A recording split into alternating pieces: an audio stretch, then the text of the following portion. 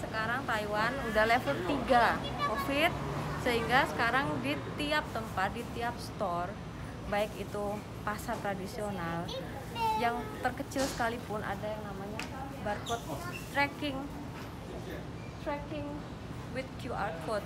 Jadi setiap pengunjung, setiap pembeli, setiap customer diwajibkan untuk scan kemudian dikirim melalui message dan dan tracking praktek ya? Hmm.